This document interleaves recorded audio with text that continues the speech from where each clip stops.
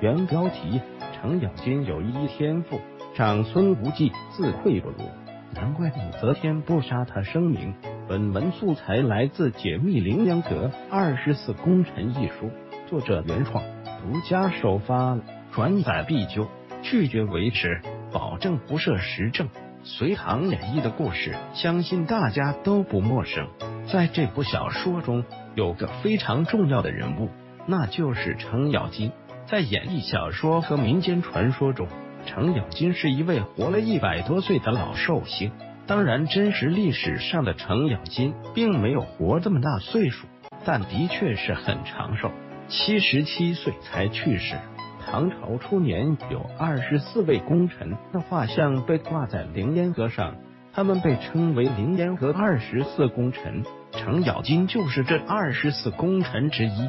程咬金晚年的时候，武则天把持朝政，朝堂中的很多大臣都纷纷反对武则天女主当政，武则天也因此杀了不少反对她的人。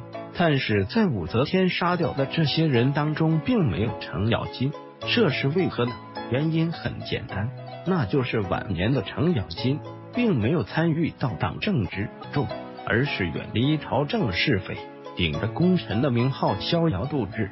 这样一个不理朝政、不参与争斗的人，跟武则天无冤无仇，武则天根本没必要杀他。在唐高宗李治继位的时候，就有不少朝臣遭殃。唐高宗继位的时候很年轻。朝中的大臣都是唐太宗时期留下来的，他们对于唐高宗的新政处处掣肘。武则天作为唐高宗的皇后，自然要帮着自己的丈夫处理这些老臣，所以武则天与李治联手处理掉了很多把持朝政倚老卖老的老臣，比如说长孙无忌、褚遂良等等。武则天深受唐高宗的喜爱。唐高宗想要废掉王皇后，立武则天为后，长孙无忌带头反对，这样的眼中钉，武则天怎能不恨？所以长孙无忌后来的下场很凄惨。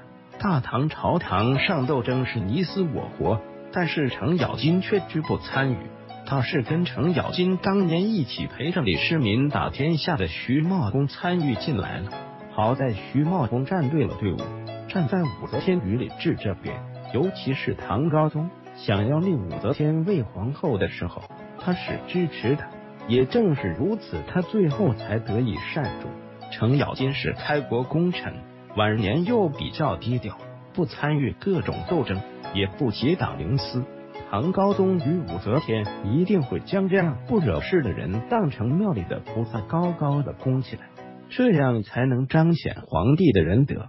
程咬金晚年能够懂得自保之道，也是大智慧啊！返回搜狐，查看更多责任编辑。